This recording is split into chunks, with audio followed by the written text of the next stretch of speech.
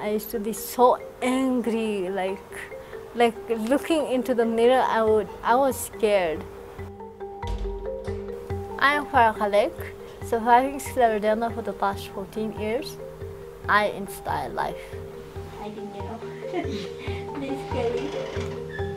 But yeah, I didn't miss anything.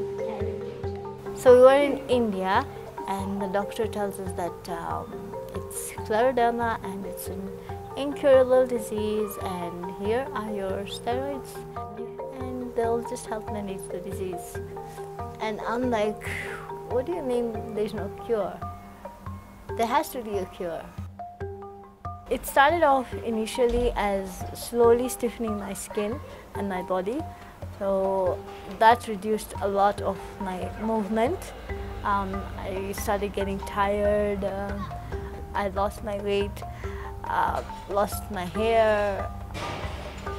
It really, really changed me. I literally um, disconnected myself actually.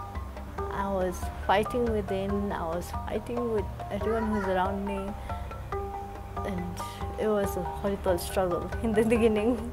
Eight years into the disease, I, I was done fighting, literally. I started praying, I started wearing my hijab. I looked into the mirror and I loved what I saw. So yeah, I, I accepted her.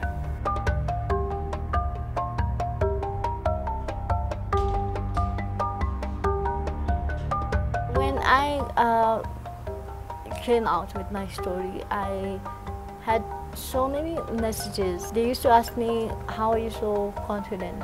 And I'm like, Yeah, I, I felt the need to help people to embrace themselves. Yo,